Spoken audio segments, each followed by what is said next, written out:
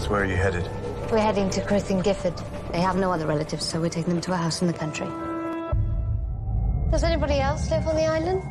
The place has been deserted for years.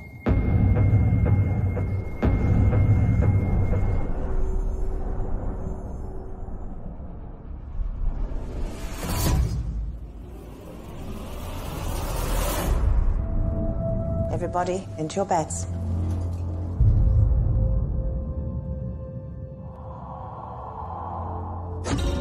Do you believe in evil?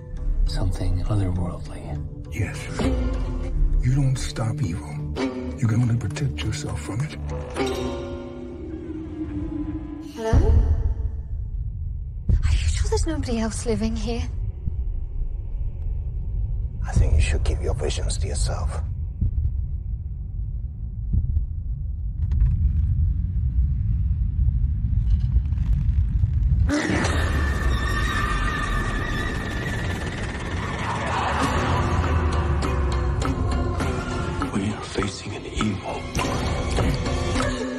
It has no bounds.